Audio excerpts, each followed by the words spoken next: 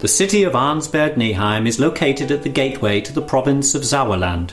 Here, on September 21st, 1904, Franz Stock was born as the first son into a large blue-collar family. Franz Stock was baptized in the church St. John the Baptist. Since the end of December 2008, believers and all who honour Franz Stock can find in this baptismal chapel a place to commemorate him, a priest who, during the worst times of World War II, was a symbol for peace and reconciliation amongst people. Stones from Paris, Chartres, and Arnsberg lie at the foot of five poles, each of these symbolizing the wooden poles where prisoners were executed. There is also a painting, a Pieta, created by Franz Stock himself. Franz Stock grew up in a religious family. His childhood was relatively unspectacular except for the fact that Franz decided to become a priest when he was only 12 years old. Influenced by his mother, who was strict but filled with integrity, he developed an extraordinary sense of duty, which followed him throughout his life. In his childhood home, Theresia Stock, Franz's sister, remembers his youth.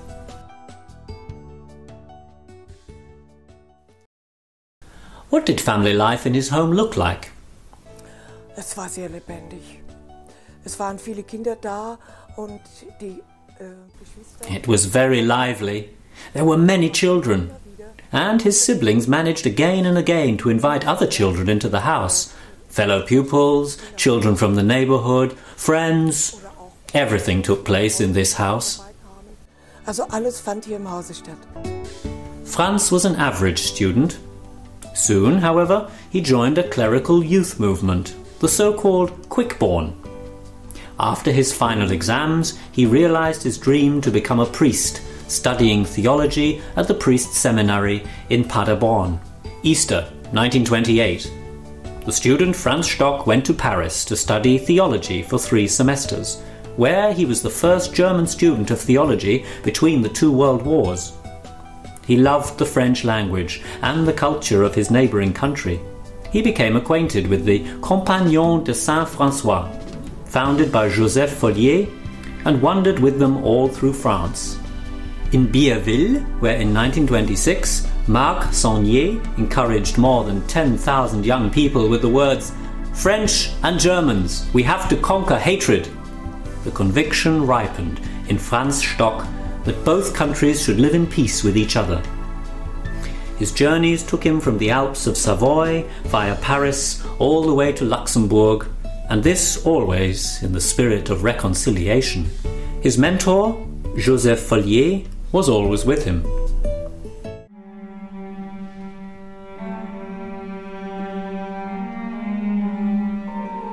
Paderborn is not only the city where Franz Stock studied theology, but also where he was ordained a priest in 1932 by the Archbishop of Paderborn, Dr. Caspar Klein. One can find photographs of his ordination in the private family photo albums.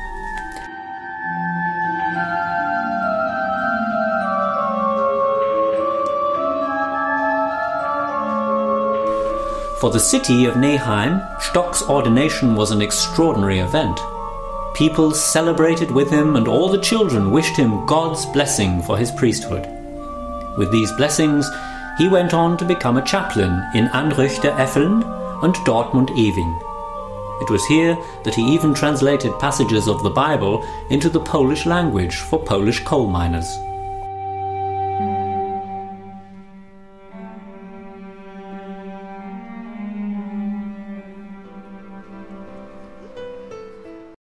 This cross is located on top of the Borberg, a mountain near Brilon. Today, the Borberg is a place of pilgrimage in commemoration of Franz Stock's peace meeting in 1931, where he also joined Joseph Folliet and his Compagnon de Saint Francois. Here, young people from both Germany and France congregated to talk about peace in the world. In 1931, however, shortly before the takeover of power by the Nazi regime, the atmosphere among the German people was already resentful. The activities of the Christian youths were watched with mistrust. The Nazi press described it as a communist meeting on sacred Germanic ground. Franz Stock already felt that the peaceful times might soon be over.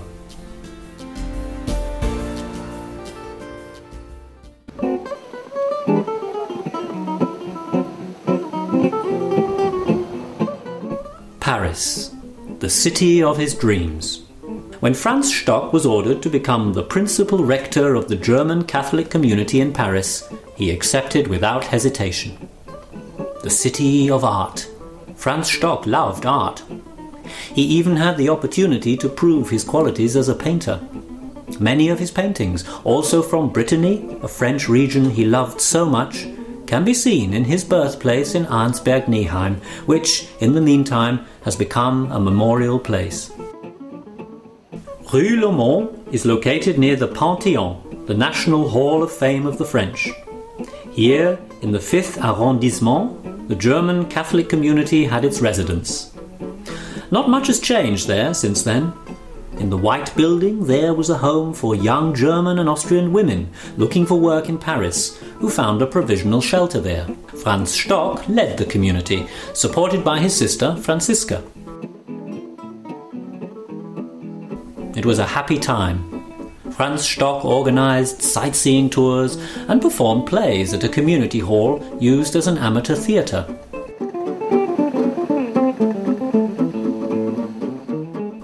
Even showed movies, while his sister Franziska discovered the neighborhood together with the girls in the home.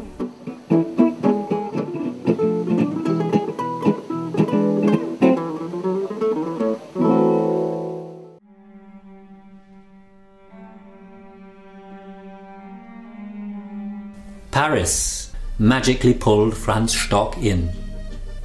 He was not only a priest by vocation, but also a serious artist, an aesthetic who painted and wrote books. But in this city he was to experience unimaginable suffering, which made him, whom the French called their Abbe Stock, the pastor of hell. This man, Adolf Hitler, invaded France in 1940 and occupied Paris. It did not take long until the first Frenchman, Jacques Bonsergent, became a victim of the Nazis. A random victim, as it later turned out, simply to make an example. The prisons of Fresnes, La Santé, and Cherche Midi filled up with resistance fighters, communists, Jews, and presumed spies. Abbe Stock was appointed auxiliary post chaplain and thus also became responsible for the French prisoners. He managed to gain their trust and helped whenever he could, even endangering his own life by smuggling books and news into the cells and reporting to the prisoners' families about their fate. Abbe Stock's vestment and the mass kit can be seen today in the Fresekenhof in Arnsberg-Neheim as part of a permanent exhibition, which also includes original documents.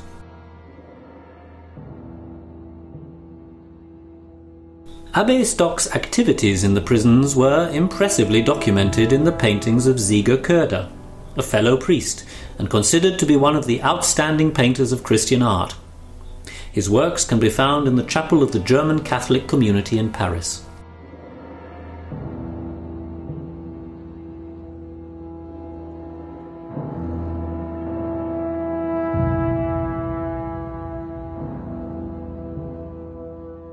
the prison in Fresnes. From here, trucks took Frenchmen sentenced to death up to Mont Valérien, a hill near Paris. In those trucks, the condemned prisoners sat on their own coffins. Mont Valérien, with its impressive memorial, is today one of the most important places of collective commemoration for the victims of German Nazism. Here, on the clearing, stood the wooden poles to which the prisoners were tied before being executed. Almost daily, prisoners were murdered here. Franz Stock accompanied the condemned prisoners until their last breath. He consoled them and heard their confessions. He made no distinction between Catholics, Jews, or atheists. Those who visit the small chapel on Mont Valérien today will find the tokens of that horrible time wooden poles pierced by the bullets of the firing squads, and the wooden coffins in which the bodies were carried away.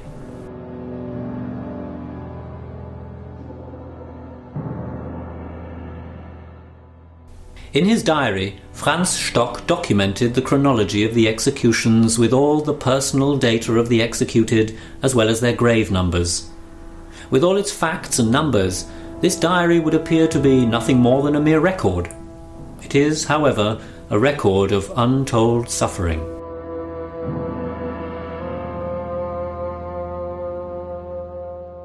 For many people, the fact that the place in front of the monumental memorial on Mont Valérien is named after Franz Stock is a wonder of reconciliation.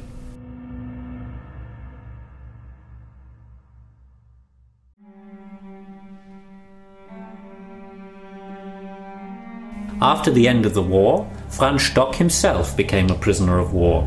During his stay in the prison camp in Cherbourg, his paintings reflect the prison life there. And here an unusual call came his way. He was to become the warden of a prisoner camp in which German seminarians, taken as prisoners from all over France, were concentrated. The camp was located near Chartres, a city world famous for its Gothic cathedral.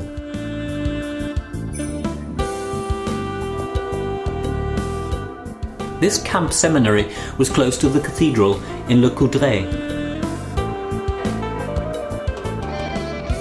The French reasoning behind this seminary was to let young people study there, so that they would later return to their home country as priests with Christian convictions, filled with the desire for peace and freedom, in order to denounce as criminal the inhuman Nazi idolatry. Later, it would be named the Barbed Wire Seminary.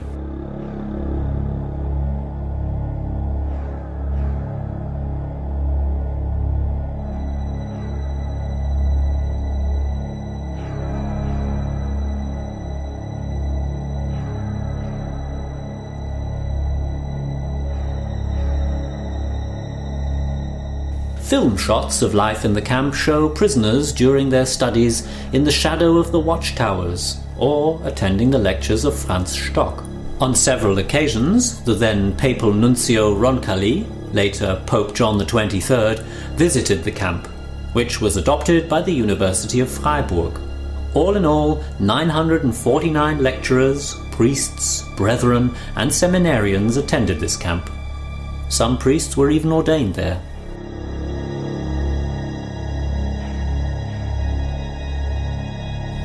Former camp guard, Abbé Ferdinand, remembers Franz Stock. J'étais en effet attiré par ce prêtre que j'avais rencontré à plusieurs reprises dans le camp. I met this priest several times in the camp, and I felt attracted by him. Why? Une certaine sainteté se dégageait de lui. Ce qui a attiré d'abord chez lui. Because I felt a kind of holiness emanating from him.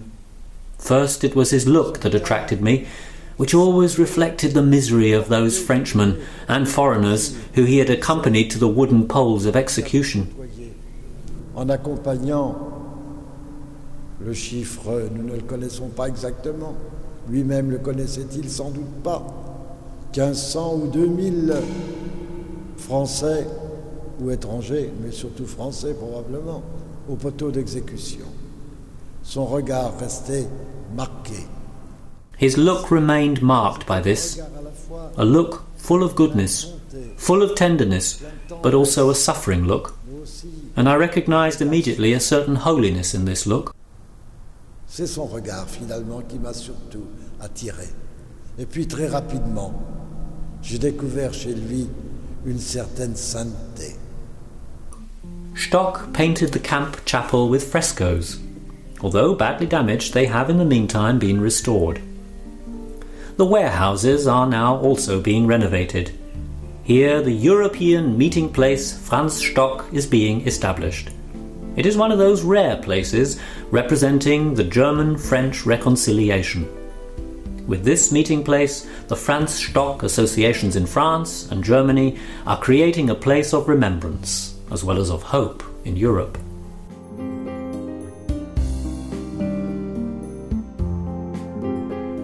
The Barbed Wire Seminary was closed down on June 5, 1947.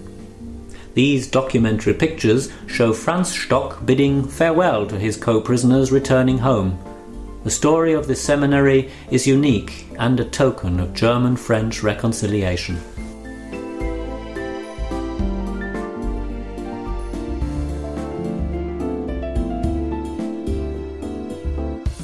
This place too is named Franz Stock Place. It is located in front of the church St. John the Baptiste in Chartres, in which Franz Stock found his final rest.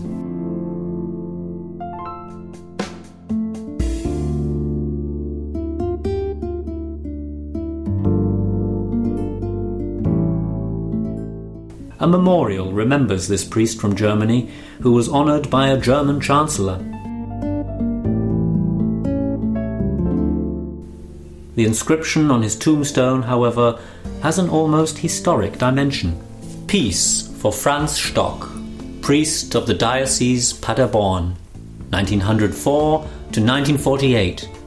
Pastor in the prisons of Fresnes, La Santé, and Cherche Midi, 1940 to 1944. The grateful families of the prisoners and executed Frenchmen.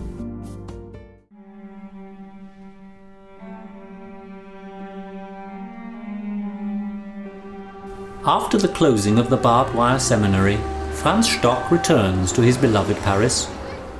In this hospital, he took care of wounded German soldiers. However, all that he had lived through over the last years the suffering and the desperation, all that took a toll on his own health. And so he was admitted to hospital himself, and he died there at the age of 43, much too soon. He, who consoled so many people, remained alone and abandoned at his end. Pope John 23rd wrote these words, which ensure that Franz Stock remains unforgotten. The priest Stock is not only a name, it is a program.